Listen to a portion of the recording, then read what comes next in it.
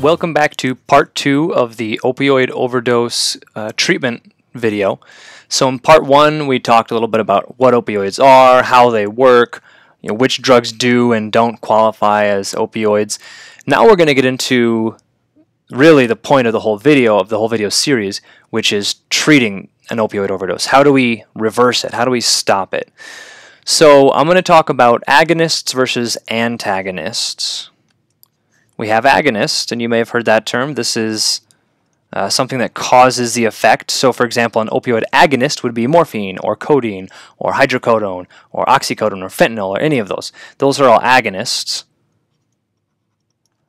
Then there are the antagonists, and I know a lot of this is going to be just review, but the antagonists are things that cancel out those effects. And as we spoke in the beginning about the different types of classes, we said that the three big antagonists for opioids are naloxone. Let me write these down. Naloxone, which is Narcan, same uh, same drug there. Naltrexone and nalmefene. And we also said that by far the most common, the one you're going to see the most, is naloxone. Uh, I have yet to see an EMS agency that has naltrexone or nalmefene in their protocols, and I don't even think I've been to an emergency department, to an ED, that gives naltrexone or nalmefene. I'm sure it happens. I'm not saying that they're not used, but it's much less common than naloxone. Naloxone is kind of the standard when it comes to opioid antagonists. So, what is an antagonist? Let's draw a sort of scale here. I'm going to draw this scale over here. And this is an imaginary scale. There isn't an actual scale like this in your body. But let's say that this is the opioid effects scale. I'm just making this up right now to kind of demonstrate a purpose. Opioid effect scale. So there's this imaginary scale, and here's 0% right in the middle. This is where probably most people are hanging out most of the time. Most people don't have opioids in their system at any given time, so most of those people are at 0%. Now up here, we'll call it 100%. And this is sort of arbitrary. Uh, I don't know that there is such thing as 100% opioid effect, but again, just, just go along with me here for the purpose of the illustration. So this would be the most opioid. This is all of those mu opioid receptors we talked about. All of them are saturated. Every single mu opioid receptor on every single cell that has them is bound to an opioid, and you're getting the maximum effects. You're getting the maximum analgesia, the maximum sedation, the maximum respiratory depression. Well, on the other end is negative 100%. And I'm going to come back to that. We're going to explain a little more a little bit later. But before I do that, I want to go back to our illustration of the cell. So here's our classic basic cell with its nucleus and all of its organelles in here. And on the surface we have this enlarged cell surface receptor and we'll use the triangle uh, analogy or the triangle example here. So this is floating through um, this this is a cell in your body and we've got the We've got the opioids floating around. So let's take this green triangle. This is a, a, classic opioid, so let's just call it morphine for our example. Oops, there we go. So this is morphine, and the morphine can come down into here and it can bond right into here, or bind right into here because it's got the right shape, it's the right type of chemical. It can bind in here and it can cause the release of these chemicals that cause us opioid effects, right? So that's just review from the last the last video. Now let me take all those away. The antagonists are part of the same class as the agonists. So I'm going to draw a different color, but still a triangle over here.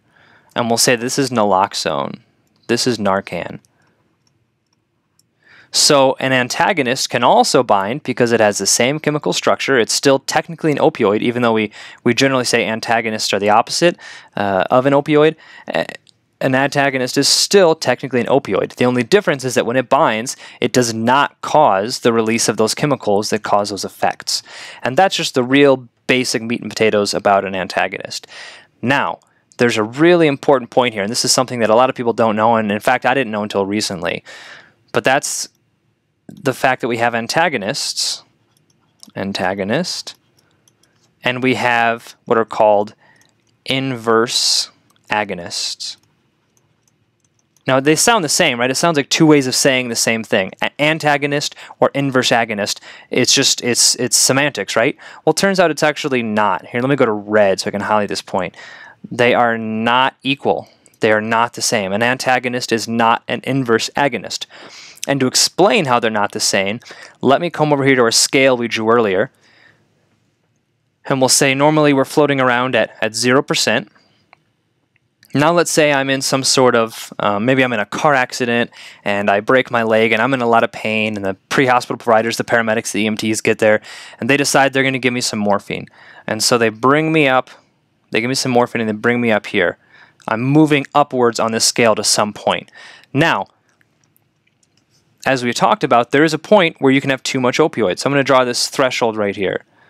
And where that point is is really going to depend on a lot of factors. It'll depend on the patient, on their metabolism, on any other medications or drugs they might have in their system. But let's just draw this arbitrary scale here. So let's say the paramedic uh, accidentally gives me too much morphine and I pass that threshold where it becomes dangerous. Now my respiratory depression is too severe, it's too profound. I'm becoming hypoxic. They're afraid I might become apneic. And now we're in a legitimate medical emergency where I might stop breathing and die. And so they say, we need to bring this person back down. And I'm going to go over it with this other color here, this green color, the same color I used for the morphine over here. I'm going to use that same color just to kind of demonstrate the drug. So I have this green morphine. It's bringing me up. Oops, they gave me too much. I've come too far. So now they're going to give me some naloxone to bring it back down. Let's see if I can find the same color I used earlier. I'm really bad about finding the right colors again. So they give me some naloxone to try and bring me back down below that threshold. Normally, when you're treating an opioid overdose, you don't want to get the patient back to 0%. It's too hard to try and shoot right for that 0%. So instead, all you're trying to do is to bring them below this, this danger threshold, this threshold where it becomes dangerous to have that much opioid. Once you get below that threshold, you're okay. And you know that you're below that threshold because of the respiratory depression. That's the big thing that worries us. So once my respiratory drive has improved and I'm now breathing um, adequately on my own, breathing more than 12 times a minute. I'm maintaining good oxygen saturations. Now we've gone far enough. We can stop. We don't need to go any further. And in a classic antagonist, it's nice because you can't go below zero. An antagonist will only bring you down to zero, a classic antagonist. It won't go any further than that. So in theory, if naloxone was just an antagonist, you could give someone as much naloxone as you wanted, and it would just bring them down to 0%, and it would hold them at 0%, and they'd be okay. The problem is that we said uh, an antagonist is not the same as an inverse agonist. An inverse agonist can bring you down to 0%, and then it can keep going beyond 0% into these negative numbers. And just like up here, we have a threshold down here in the negative numbers where it starts to become dangerous. So what does it mean? What happens? Well, let me go back over here to the cell surface receptor, and when the inverse agonist binds, it doesn't cause the chemicals you talked about earlier that cause those opioid effects that cause analgesia, sedation, respiratory depression, miosis, etc. But it does release other chemicals. It releases these other chemicals in here. And these chemicals cause a different set of effects. These are what we call the withdrawal symptoms. And we call them that because typically you see them when people are withdrawing from an opioid addiction. So the withdrawal symptoms for naloxone, or for the opioids in general, are things like hyper or hypotension. I should probably write these down too. Hyper or hypotension, so your blood pressure can go up or down. That's kind of unpredictable. Uh, other effects are tachycardia, so I'll put increased heart rate, agitation, and there's some also some much more serious effects. You can have uh, dyspnea or the difficulty breathing, diff breathing. And sort of the interesting thing is that with an opioid overdose, you can have that respiratory depression. Well, you can also have respiratory depression with an inverse agonist overdose. So even though we're on the other end of the scale, we can still have respiratory depression. And you can imagine how frustrating that would be as a provider, as a pre hospital provider. You are trying to treat respiratory depression and you gave this drug, but if you give too much, you end up causing even more respiratory depression. Uh, subsequently, because of that, it can also cause hypoxia, and there are a whole host of other symptoms uh, nausea, vomiting, diarrhea, hallucination. Uh, this, these are just some of them. So that's the trouble we have with, with naloxone as an inverse agonist is we can overshoot. We call this overshooting. We go too far and we cause withdrawal symptoms. And you might just be causing uh, agitation, nausea, vomiting, diarrhea, which, while they're not good for our patient, things that we can certainly manage and they're not life threatening. Or you can cause things like hypotension, ventricular dysrhythmias, respiratory depression, hypoxia, which absolutely can be life threatening or are life threatening. And you can put this patient into just as bad a shape as they were before or even worse shape. Uh, we don't want to do any harm to our patients. So that's why it becomes really important to understand naloxone and to understand the dosing. There's one more side effect of an inverse agonist, an opioid inverse agonist, one more effect from overshooting that scale and ending up in the negative percents, the withdrawal symptoms. There's one more side effect I want to talk about, and I'm only going to briefly mention it because, frankly, I can make a whole video series on this right here. But that's called ARDS, A R D S, which stands for Acute Respiratory Distress Syndrome. And in case you haven't heard of this, ARDS is a very dangerous symptom in patients that basically causes entire sections of the lung to just stop participating in gas exchange. So entire sections of your lung essentially just stop working. You might have you might be an adult and have the physical lungs of an adult, but you only have a tiny little area that's actually exchanging gases, uh, oxygen and CO2.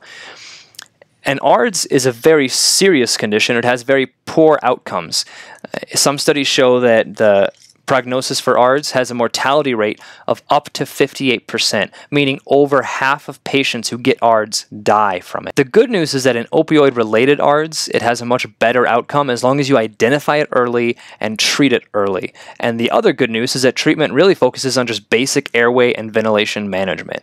So if you see your patient, uh, if you've overshot and given them too much naloxone or given them the right amount of naloxone but you've given it too quickly and you see your patient start going into ARDS, this would be you notice this by basically having increasing respiratory distress despite the fact that you're breathing for them and you're giving them naloxone. If they're still getting it's getting worse maybe they have poor compliance when you're bagging and that's a big thing with ards is poor compliance. So you're trying to bag them but you're having a hard time physically getting the air to go in poor compliance. You might also see decreasing uh, saturations, decreasing pulse ox.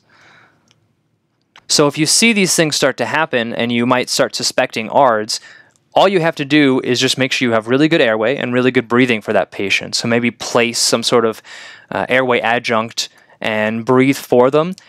And generally speaking, in the, the studies that they've done, patients who have opioid related ARDS or opioid inverse agonist related ARDS, they respond much better than most patients do. The, the mortality is much lower than in just regular ARDS.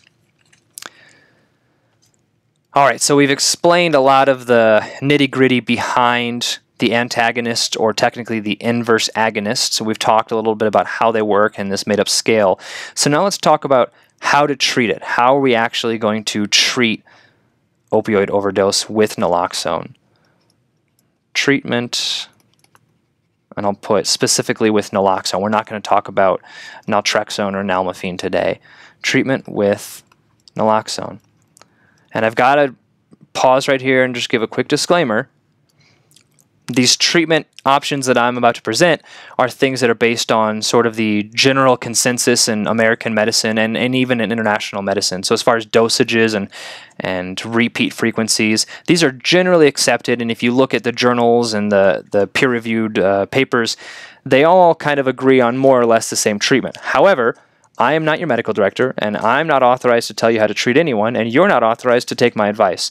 So, my suggestion to you would be look at these, understand that they are the standards out there, but make sure you then go and look at your own protocols and maybe even have a discussion with your medical director to ensure that what you've learned here are in line with what they're allowing you to do, because they're the ones that allow you to do this. I know most of that goes without saying, but to cover myself, I have to make sure that I explicitly say, make sure you follow your own protocols and your own medical director. So we talked about patients who are in opioid overdose.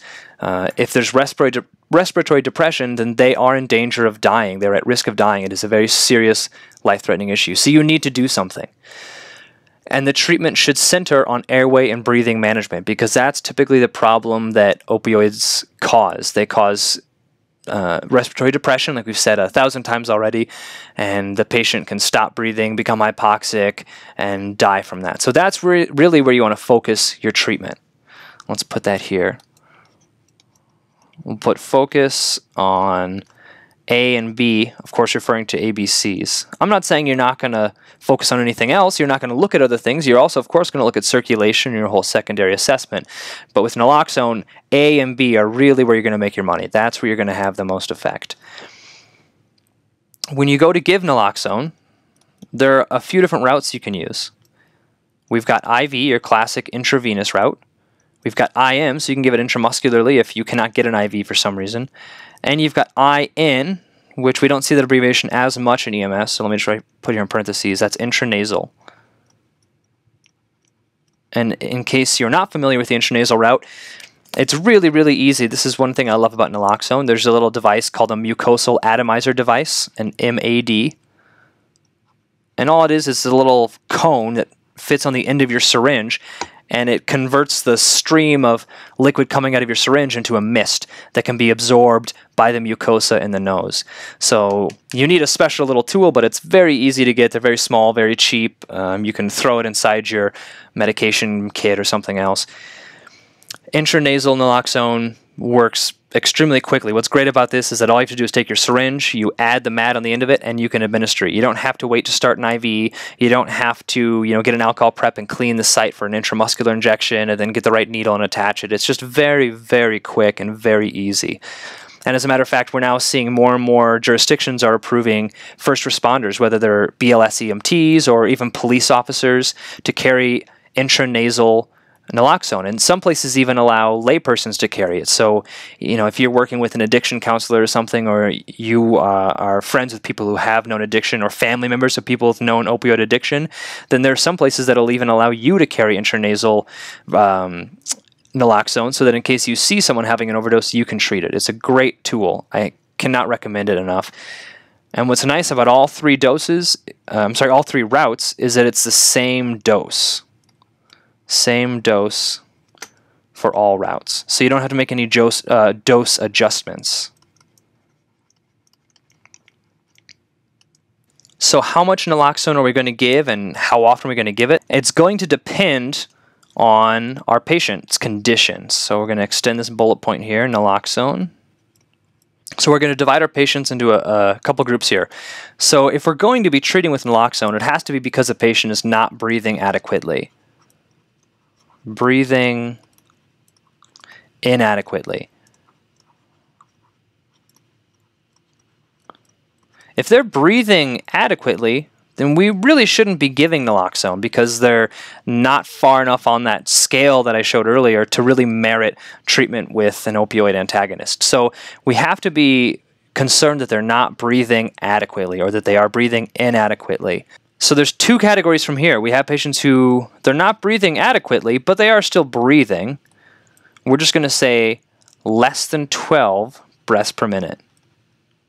And that's sort of the definition of inadequate here for what we're talking about is less than 12 breaths per minute. So they're not breathing adequately. They're breathing slower than 12, but they are still breathing. They're not totally apneic. So then the other category, of course, would be patients who are not breathing at all. They are apneic, no breathing at all. And the reason we are splitting these people into two groups is because we don't want to be too aggressive with an naloxone because then you risk overshooting and getting into the withdrawal symptoms. And so if they're breathing at least a little bit, we can be a little more conservative. And what the rec recommendations are to do here are to give doses of 0.05 milligrams uh, per dose. You're going to do that and you're going to titrate with about one minute in between per dose. And I'll put Q, which is every uh, Q one minute, every one minute. So 0.05 milligrams of naloxone every one minute, and we're going to stop giving it once they start breathing adequately again, once they are breathing above 12 per minute. Now, if they're apneic, we want to be a little more aggressive. So we're willing to slightly increase our risk of overshooting and, and hitting those withdrawal symptoms, even though we don't want to do that, but we're willing to accept a higher risk because the patient is apneic. They're in a much worse state. So here, we're going to kind of follow the same protocol, but with a higher dose 0.2 all the way up to 1 milligram per dose. And again, exactly how much you give is going to depend on your protocols and your medical director, but the rest of the protocol is the same. We're giving, and either way, we're giving naloxone every minute until we get the effects we want. The only difference is how much we're giving every minute. So these are two categories. Now, some common questions that come up how how much are we going to give? At what point do we do we worry that there's a problem? You know, let's say that I've given um, I have an apneic patient. I've given them one milligram of, of naloxone, which is kind of the max amount per dose, and I've done that every 60 seconds, and I've now given four milligrams. I've done it four times, and the patient still isn't better. Can I keep going? Uh, the answer is technically yes. There's no um, there's no maximum safe dose, so you can keep giving it if you need to. However, if you're getting to like the 5 or even up to the 10 milligram ranges, you need to kind of stop and ask yourself, am I make did I make the right diagnosis? Is this really an opioid overdose because it should be responding to this opioid antagonist or this opioid inverse agonist to the naloxone. And if I'm at five or 10 milligrams, it's not responding. So you're gonna you're gonna start checking things. If you're giving giving it IV, is your IV patent? Is it working, or is all that naloxone just sitting in the muscle somewhere because it was infiltrated? Um, if that's okay, then you're going to say, is there anything else that could be in, uh, causing this problem? It, am I measuring my dosages correctly? And if you're sure that everything else is being done correctly, you have to say, well, did I diagnose this correctly? Maybe it's not a naloxone overdose. In the first video, we talked about some other things that can mimic naloxone overdose. And so if you've given that much, you need to really consider that you might have given, um, you might be giving the wrong drug for the wrong diagnosis. And the last thing I want to talk about in this video is overshooting. So we, we mentioned overshooting quite a few times before. That's where you give too much naloxone, you push that patient into the negative side of that imaginary scale. And if you overshoot, you can cause, like we said, those other life-threatening withdrawal symptoms. So some people might think, oh, I've overshot, I've given too much, uh, I'm getting a new slide here, I've given too much naloxone. So let's draw our scale again, our imaginary scale. Here's the zero point. There's a maximum 100%. There's a minimum minus 100%. Plus 100. So you've got your patient who's right here. They're above that imaginary threshold for it being dangerous. And here's our imaginary threshold for the inverse agonist being dangerous. You give too much naloxone and you bring your patient all the way down below this into this danger threshold. Some people think that, well, I should just give some opioid, like some morphine or some fentanyl, and just bring them back up and get them above zero and try and shoot to get in this range right here, this, this good range we want to be in. That is a bad idea. I'm going to go ahead and erase those lines so that you don't think I'm recommending that. Do not do that.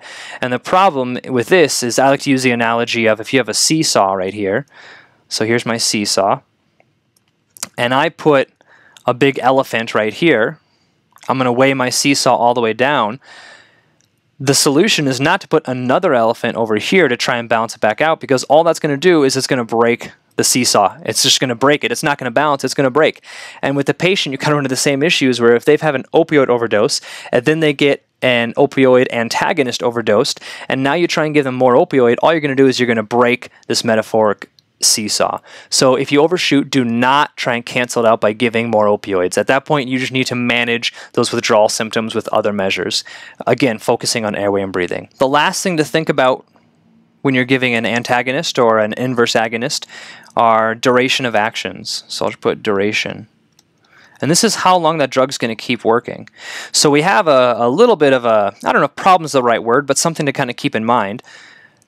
That is that the duration of naloxone is just about one hour. And again, there are a lot of factors that can affect this, but uh, we'll call that just about one hour. So if you give someone naloxone, it's going to work for about an hour before it wears off. Most opioids, and there are a lot of opioids as we saw before, and they're all a little bit different, but most opioids have a duration of at least two hours and many are even more than that. You know, many get up into the four, eight hour range. So as you can kind of see that the problem here is that if we give naloxone, it's going to work and it's going to bring that patient below that threshold up here for about an hour, but it's going to wear off in an hour. When that happens, there are still other opioids floating around in the patient's system, and so the patient's going to go right up into that danger zone again. So if you give a patient naloxone, you need to continue to monitor them for several hours uh, either that or transfer care to someone. And presumably, if you're in pre-hospital, you're not going to sit with the patient for four plus hours, but transfer care. But either way, you need to monitor that patient because after about an hour, they might start slipping back into that opioid overdose and you need to be ready to treat it again with more antagonist, more inverse agonist if necessary. That concludes our second video and the, the second in the two-part series treatment of opioid overdose. I hope you guys enjoyed it. If you have any questions, please go to our website, that's miglabs.com. And there's a, a link there where you can submit questions you may have, and, and I'll try and answer as many as I can. We also have the lesson outline for this lesson that has a PDF that fills in some of the gaps that I've surely left when I'm talking, and a lot more information. So we hope you'll join us on the website, and uh, I hope you'll tune into our next video. Thanks for watching.